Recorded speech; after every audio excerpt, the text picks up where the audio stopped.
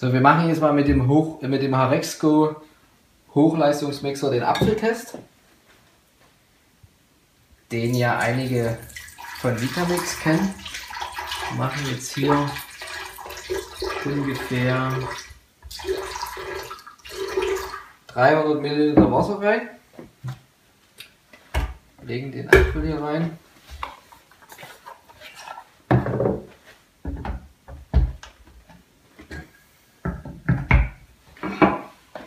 So, und jetzt äh, starten wir das Gerät doch vielleicht mal hier mit 60 Sekunden.